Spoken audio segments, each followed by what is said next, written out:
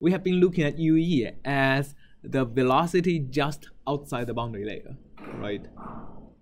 But now we want to zoom out. We want to zoom out into the entire flow field and look at how can I couple the boundary layer solution with the outside solution outside the boundary layer. So we want to provide a little bit generalization to the edge velocity of the boundary layer we are considering.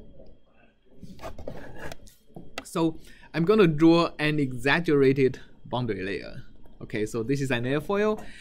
The boundary layer here is, let's say, like that. So we have been considering the velocity at the outside of the boundary layer as UE.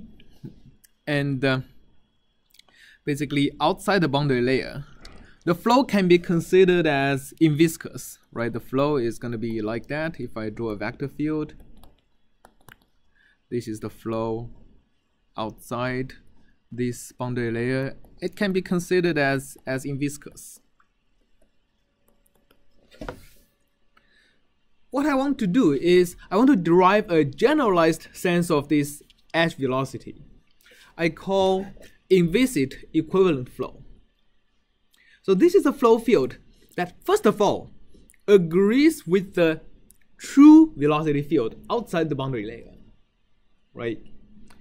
And because outside the boundary layer, the true flow field has almost zero viscous effect, we can consider both the true flow field and the inviscous equivalent flow to satisfy the inviscid flow equations, the Euler equations.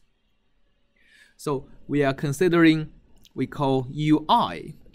It is equal to U outside the boundary layer. And in this case, the wake.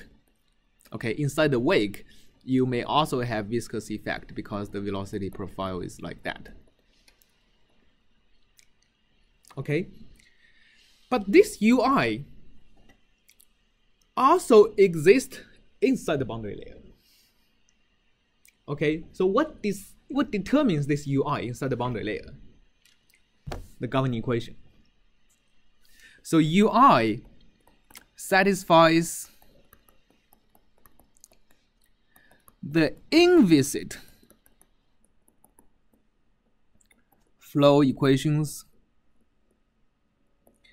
everywhere, including inside the boundary layer. So what do you think UI is going to be inside the boundary layer? So let's, for example, use green to denote the UI we know UI is exactly the same as this red velocity outside the boundary layer, right? So these are the same. But inside the boundary layer, can somebody come up and draw what UI, what you think UI should be inside the boundary layer?